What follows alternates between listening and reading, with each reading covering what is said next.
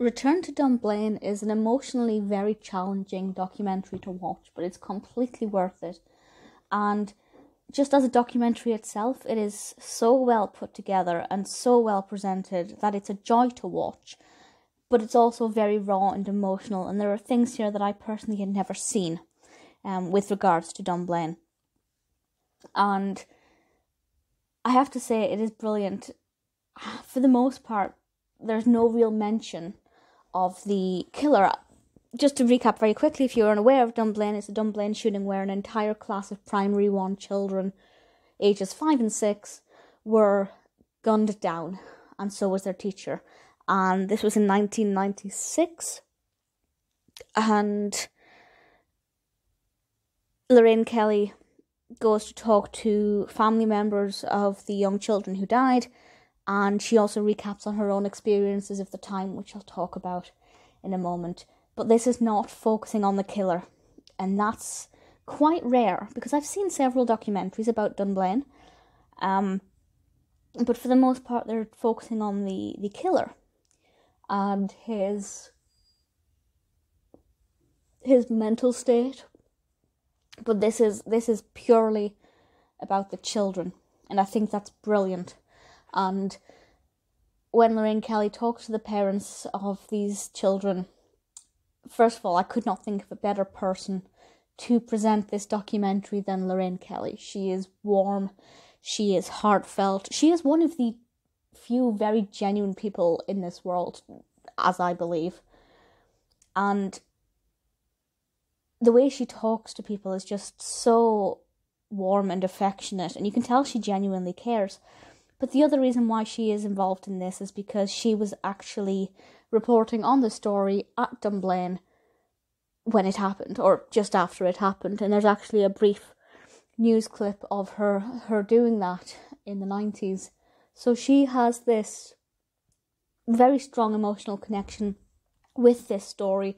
She was at Dunblane, you know, the day it happened. She's been friends with a couple of the parents ever since then and you can tell she's very much emotionally invested in this and while she was not directly affected it has directly emotionally affected her and that comes across. And that just gives this an extra dimension. It's not just a random person presenting this. It's not somebody who's maybe a forensic psychologist but who has no connection to the case. Lorraine kelly is very much she's very much been part of the emotional circuit since the beginning the show utilizes some footage from the time. Um, I'd seen kind of some footage, but not much. This one shows a lot of parents and grandparents crying at the school gates when they don't know, you know, which class has been affected. They don't know which children's been affected, and kind of seen that footage at the time. I can't imagine. You know, I was four years old. I have no no memory of this happening at the time and I can't imagine what it would have been like to turn on the news and hear about this shooting. A lot of the parents, um, you know, we find out how some of them found out. You know, they turned on the radio and they found out they were at work and somebody mentioned it. And I just cannot imagine what that feels like to find out that there's been a school shooting at your child's school. And we hear from the parents and it's obvious that, you know, 25 years on, it still affects people. Of course it does. There's this, I don't want to spoil too much about what's kind of revealed in the interviews and what's said because it's part of the emotional journey. But there was one mother who particularly broke my heart because she she was basically seconds away from not sending her child to school that day.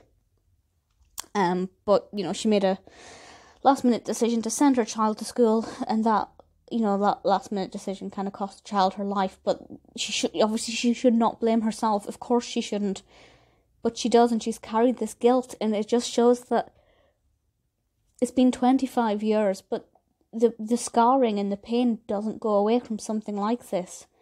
That's an entire class of children, and their fantastic teacher, who clearly did everything she could to save the children right until the end. if you don't know anything about the Dunblane massacre, this is 100% a fantastic documentary to watch. It covers everything sensitively. It makes it all about the children because those and, and the teacher because they're the important ones, not the killer. I haven't even mentioned his name in this because it's not about him.